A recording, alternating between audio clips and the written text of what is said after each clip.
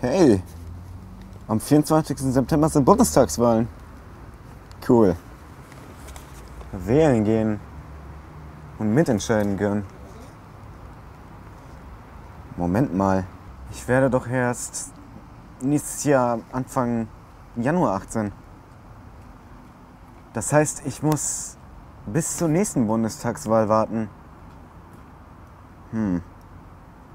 Das ist dann in vier Jahren. Das, dann, dann bin ich fast 22. Das heißt, ich werde erst mit fast 22 Jahren zum ersten Mal bei einer Bundestagswahl meine Kreuze machen dürfen. Das ist doch komplett sinnlos, oder? Warum darf ich nicht eigentlich schon mit 16 wählen?